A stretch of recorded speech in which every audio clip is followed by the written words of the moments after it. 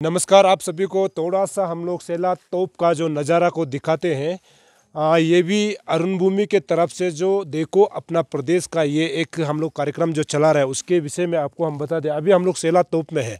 मैं अपने camera person से कहूँगा अगर आप ऊपर तरफ़ घुमा के दिखाएँगे तो लोगों को आपको बहुत सुंदर नज़ारा आपको देखने को मिलेगा। ये अभी आ, समय हो चला है आपका सुबह पाँच बजकर चालीस मिनट।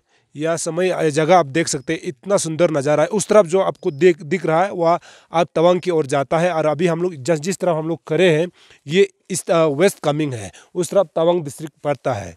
ये है, आप नज़ारा देख सकते हैं। बहुत ही खूबसूरत नज़ारा है अभी। एकदम सुबह सुबह का मौसम है। अक्सर इस जगह में जो है, हमेशा ऐसे समय में पोगी रहा करता है, लेकिन अभी बहुत अच्छा मौसम है। इसका मतलब ये है कि आगे वेस्ट कमिंग का मौसम जो है, बहुत अच्छा होगा। जहाँ पर अभी हम लोग करे हैं, ये सी लेवल से thirteen thousand seven hundred feet में है और यहाँ पे लोगों को सांस लेने में भी दिक्कत होती है।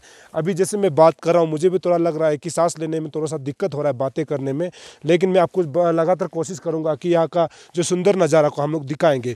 इस तरफ़ आप घुमा के दिखाएँगे तो आपको सुंदर पता चलेगा कि बहुत खूबसूरत नज़ारा है। ये सुबह का वक्त है और आप समय जगह को आप देख सकते हैं, बहुत काफ़ी सुंदर है ये जगह।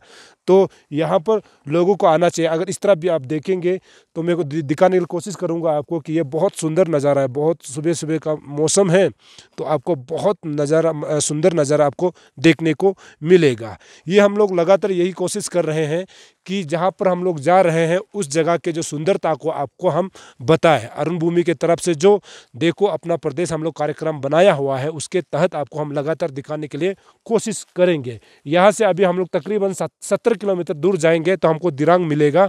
उसके बाद, दिरांग के बाद हम लोग बोमदिला बोमदिला के बाद ऐसे लगातार चलते हुए हम लोग ईटानगर की ओर जा सकते हैं। तो ये था थोड़ा सा अरुण भूमि की तरफ़ से जो देखो, अपना प्रदेश के तहत आपको हम दिखा रहे हैं, जो कि सेला तोप है और यहाँ जहाँ पर हम करे हैं, ये सी लेवल से बहुत हाई लेवल में है और यहाँ सांस लेने में भी दिक्कत होता है। आप देख सकते हैं, मैं एक बार एक बार कोशिश करूँगा कि जो बादल जो है, जो दरअसल ऊपर में रहा करता है, अभी हम लोग बादल को यहाँ से नीचे दिखाई दे रहा है। जैसे कि हम लोग जब फ़्लाइट में जब हम लोग यात्रा करते हैं, एरोप्लेन में जब हम यात्रा करते हैं, ऐसे अक्सर देखने को मिलता है, ये बादल जो है हमेशा लगता है कि ऊपर है तो अभी हम लोग बादल को नीचे दिखाई दे रहा है। इसका मतलब ये समझ सकते हैं कि अभी हम लोग कितना ऊपर में है। तो ये था हमारा छोटा सा कोशिश आपको लगातार हम अरुणाचल के अलग अलग जिलों का जो सुंदरता है उसको हम लगातार आपको हम दिखाते रहेंगे। आप बने रहिए अरुण भूमि तब तक के लिए मुझे इजाज़त दीजिए। नमस्कार।